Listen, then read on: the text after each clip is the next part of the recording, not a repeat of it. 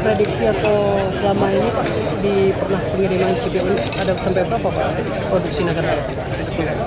itulah yang lagi kita apa ya, kita survei sekarang kita data untuk yang semestinya belum tahu juga persis tapi yang pasti memang kebutuhan kan sekarang yang terbanyak di Aceh Mungkin berapa Pak? Mungkin kira-kira atau pernah dikeluarkan belum tahu persis datanya? kita Itu pengerjaannya kapan Pak mulai?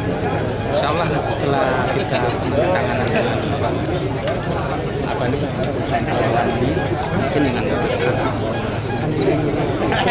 Kira-kira